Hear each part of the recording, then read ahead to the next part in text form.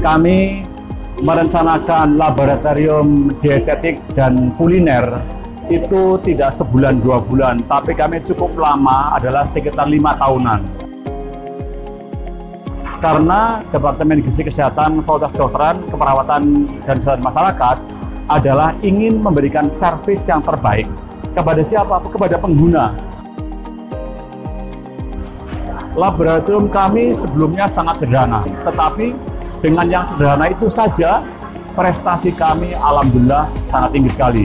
Maka harapannya dengan laboratorium yang sangat terstandar, di mana laboratorium itu adalah kerjasama dengan Nayati, uh, kami berharap betul bahwa ke depan apa yang kami siapkan ini betul-betul bisa menservis kepada pengguna kami. Kenapa kami memilih Nayati uh, sebagai partner? Karena service excellence-nya kawan-kawan Nayati yang sungguh sangat luar biasa.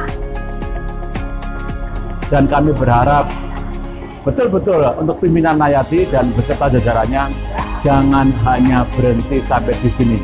Karena kami perguruan tinggi yang berkembang dan dipercaya oleh masyarakat Indonesia maupun dunia. Dan dari Departemen Gizi ini kami akan merubah pola perilaku uh, menyiapkan bahan-bahan yang sehat untuk masyarakat seluruh Indonesia dan bahkan dunia.